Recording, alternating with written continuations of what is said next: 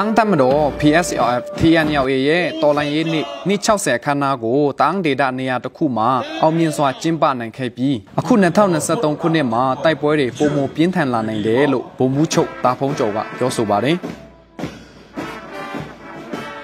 တန်းတမတော်အနေနဲ့တန်းဒေတာအတွင်းမှာတမဟာခုနှစ်ခုနဲ့အုပ်ချုပ်ရေး ကာကွယ်ရေးလုပ်ငန်းတွေဆောင်ရွက်နေပြီးစစ်ကောင်စီအပါအဝင်တခြားသောတိုင်းသားလက်နက်ကိုင်အဖွဲ့အစည်းတွေအပေါ်ကြောက်ရွံ့စိုးရိမ်စိတ်တွေဒီကနေ့အချိန်မှာတော့လူထုနဲ့အတူဖယ်ရှားနိုင်ပြီဖြစ်တယ်လို့ဆိုပါတယ်။အဲကျွန်တော်တို့လည်းဒီစစ်အာဏာရှင်ပြုတ်ကြရေးဒီမိုကရေစီတည်ဆောက်ရေးဆိုတဲ့အလံအောက်မှာတခြားလူမျိုးနဲ့အတူတူကျွန်တော်တို့အတူတူရေမောင်တန်းပြီးတော့ အလုတ်လုတ်လာနိုင်ပြီကျွန်တော်ရဲ့လွတ်မြောက်ရေးပန်းနိုင်တွေကပို့ပြီးရှင်းလင်းလာပြီဒါတွေကနှစ်60ပြည့်တော်လိုင်းလေးမှာကျွန်တော်တအံပြည်လူလူထုအတွက်တော်လိုင်းရဲ့အတွက်တော်တော်လေးအဆင်သင့်ဖြစ်တယ်ကျွန်တော်ရဲ့ဒီလွတ်မြောက်ရေးပန်းနိုင်ကပို့ပြီးရှင်းလင်းလာတယ်ဒါဒါကအာလူထုတွေအားလုံးတက်ညီလက်ညီဝိုင်းပြီးပေးဆက်ဆွန့်လွတ်ပြီးတော့မှဆောင်ရွက်ခဲ့တဲ့အသီးပွင့်လို့ပြောလို့ရပါတယ်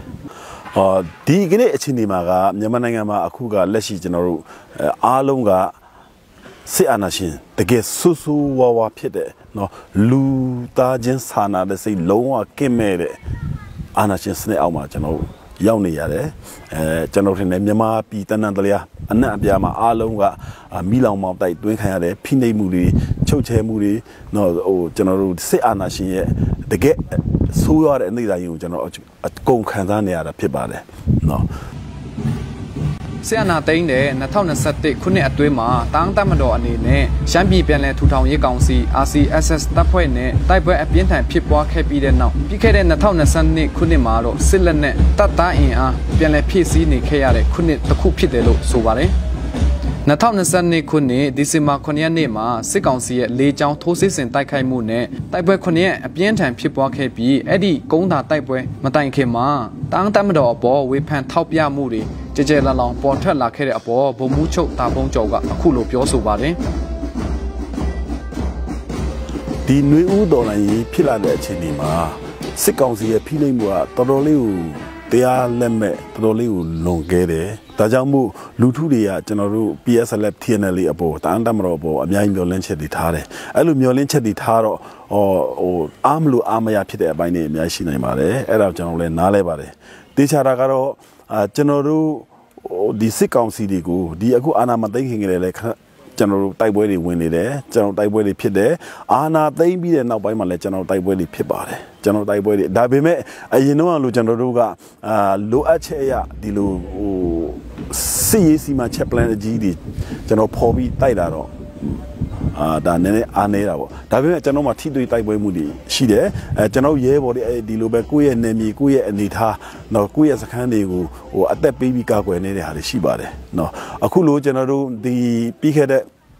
ဒီဇင်ဘာလတုန်းကကုန်းနာတိုက်ပွဲပြီးတဲ့နောက်ပိုင်းတော့ဒါတော်တော်လေးတော့အပြေရှင်သွားပါတယ်နော်ဟောဒီ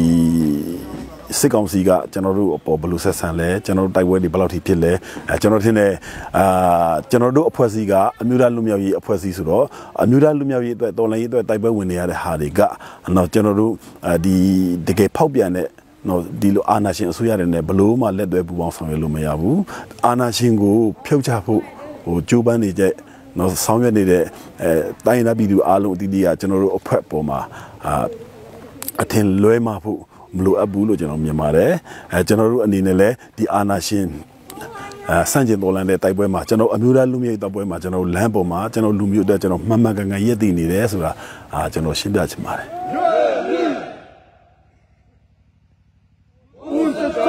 လက်ရှိမှာအမျိုးသားညီညွတ်ရေးအစိုးရ UNG နဲ့တာန်းတပ်မတော်တို့ဆွေးနွေးညှိနှိုင်းမှုတွေရှိနေပြီး UNG နဲ့ဆက်ဆံရေးအပေါ်ဗိုလ်မှူးချုပ်တာဖုံးကျော်ကအခုလိုဆက်ပြောပါတယ်။ အာဒီမှာကတော့ကျွန်တော်တို့ဟိုတော်လိုင်းအတွက်အလုပ်လုပ်ရတယ်ဆိုတော့အရေးကြီးလုပ်ငန်းတွေဆောင်ရွက်တဲ့အချိန်ဒီမှာတချို့အချိန်တွေတော့ကျွန်တော်တို့ကလူသိရှင်ကြမီဒီယာထဲမှာအများကြီးပြောပြီးတော့မှအာ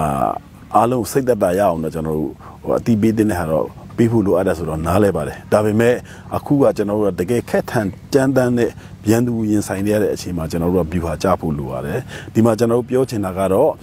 NUG နဲ့ပတ်သက်ပြီးတော့မှ NUG ရဲ့အခုတစ်နှစ်1 year plan ဆောင်ရွက်နေတဲ့ကိစ္စတွေเนาะ NUG ရဲ့ဆောင်ရွက်နေတဲ့ကိစ္စတွေအကုန်လုံးကျွန်တော်တို့က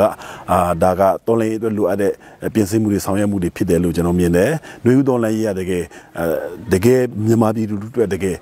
လိုအပ်တဲ့တော်လိုင်းတစ်ခုဖြစ်တယ်လို့ကျွန်တော်မြင်တယ်။အဲ့ဒီတော်လိုင်းရေးမှာလည်းကျွန်တော်တို့ ਨੇ အဲဒီလိုအာ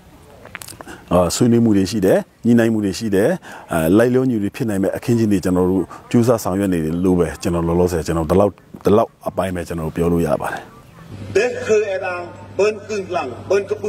စစ်ကောင်စီကိုတော်လန်နေကြတဲ့အင်အားစုတွေအကြားမှာအဆုံးသက်တိုက်ပွဲဆိုပြီးကြဲကြဲလလောင်ထပ်ပေါ်နေခဲ့တဲ့အပေါ်တန်းတက်မတော်အနေနဲ့လဲမျော်လင့်နေတယ်လို့ပြင်ဆင်မှုတွေလဲလှုပ်ဆောင်နေတယ်လို့ဆိုပါတယ်အဲကျွန်တော်တို့ကတော်လန်ကြီးကို ဒီတော်လိုင်းထဲမှာပါကြတဲ့ကဒီလိုပဲကိုယ့်ရဲ့တော်လိုင်းကိုအမြင်ဆုံးအောင်မြင်ခြင်းတယ်ဒီလိုအပိတတိုက်ပွဲတွေကျွန်တော်တို့အမြဲတမ်းမျှော်လင့်တယ်အာနောက်ဆုံးတိုက်ပွဲဖြစ်မယ်မဖြစ်ဘူးဆိုတော့အားလုံးတော့ဟောတော်တော်လေးတော့ပြောရခက်တယ်ဒါပေမဲ့ဘယ်သူမှဆိုနောက်ဆုံးတိုက်ပွဲဖြစ်ဖို့အကုန်လုံးကြိုးပမ်းနေကြတာပဲကျွန်တော်ထင်တယ်အဲဒီအခုကျွန်တော်တို့ရဲ့ဒီအာပထဝီနိုင်ငံကြီးအရာနော်တရုတ်နဲ့အိန္ဒိယကြားထဲမှာကျွန်တော်ရှိနေတယ်နော်အာအဲ့ဒီလိုနိုင်ငံကြီး ကမ္ဘာနိုင်ငံကြီး balance ချိန်ခွင်ကြီးကြားထဲမှာကျွန်တော်တို့ရဲ့အဲဒီအားလုံးလွတ်မြောက်ဖို့ကြိုးပမ်းတဲ့အပိတတိုက်ပွဲကျွန်တော်ဆောင်ရွက်တဲ့အချိန်မှာတော့ကျွန်တော်ထင်တယ်အဲကျွန်တော်တို့အချင်းချင်းကလည်းစူးစူးညီမှုတွေဒီထက်ပိုပြီးအားကောင်းအောင်လုပ်ဖို့လိုတယ်အဲနိုင်ငံတကာရဲ့ချိန်ခွင်ရှာကိုလည်းကျွန်တော်တို့အချိန်ကိုက်ကစားနိုင်ဖို့တော့လိုတယ်လို့ကျွန်တော်မြင်တယ်ဒီအခုလိုအာအာနာရှင်ကလည်းအရက်ဆက်ဆုံးနော်တကယ့်ကိုဖိနှိပ်ကြမ်းတမ်းနေတဲ့အချိန်တွေမှာကျွန်တော်ထင်တယ်တတိုင်းပြည်လုံးကလည်းဝိုင်းဝန်းနော် တော်လန်ကြတယ်နော်ဒီထက်ပိုပြီးတော့မှ view ဟာတွေကြမယ်အာဒီလက်နက်ပိုင်းဆိုင်ရာရောနိုင်ငံရေးပိုင်းဆိုင်ရာရောစားတဲ့ဖြစ်ဘက်ပေါင်းစုံကိုတော်တော်လေး view ဟာကြမယ်ဆိုရင်တော့ကျွန်တော်ထင်တယ်အားလုံးမျှော်လင့်တဲ့ဒီအပိသက်တိုက်ပွဲတွေနောက်ဆုံးတိုက်ပွဲတွေမဖြစ်လာနိုင်ဘူးလို့တော့ပြောလို့တော့မရဘူးကျွန်တော်ထင်တယ်အဲ့လိုဖြစ်ဖို့အတွက်လည်းအဲအားလုံးကတော့ဝိုင်းဝန်းပြင်ဆင်ကြိုးစားနေကြတယ်လို့ပဲကျွန်တော်မြင်ပါတယ်အားလုံးလည်းဖြစ်စီချင်ကြတဲ့သဘောထားရှိကြပါတယ် စစ်ကောင်စီဘက်ကတိုင်းသားလက်နက်ကင်အဖွဲ့တွေအချင်းချင်းကြားမှာတွေးထိုးလှုပ်ဆောင်မှုနဲ့ငင်းချမ်းရေးဆွေးနွေးပွဲတွေဖိတ်ခေါ်နေမှုအပေါ်ဗိုလ်မှူးချုပ်တာဖုံးကျော်ကအခုလိုတုတ်ပြန်ပြောဆိုပါတယ်ဒီကျွန်တော်တို့ဆိုရင်နှစ်ပေါင်း60ပေါ့နော်နှစ်ပေါင်း60 90ဒီလိုအာကြာတဲ့တော်လိုင်းကာလမှာတော့ကျွန်တော်ထင်တယ်အာနာရှင်တွေရဲ့ အဲဒီလိုဟိုကစားတဲ့ပရိယေတွေအားလုံးလည်းနားလေကြပြီအားလုံးလည်းသိကြပြီဒါကဆိုတော့အဲ့လိုမဖြစ်ဖို့တော့တော်လိုင်းတကယ်အောင်မြင်ဖို့လဲဘာတွေလောက်ကြဖို့လူမဲဆိုတာလဲကျွန်တော်ထင်တယ်ဘယ်အဖွဲ့အစည်းမဆိုကောင်းကောင်းလေးတော့နားလေကြပြီလို့ကျွန်တော်မြင်တယ်ရန်သူ